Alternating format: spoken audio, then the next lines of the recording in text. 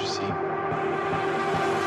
Time ticks and decays, never to return, never to feel whole.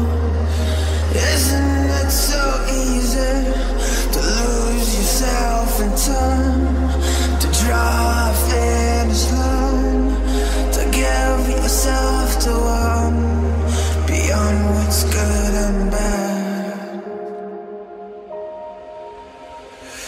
It kills me not to know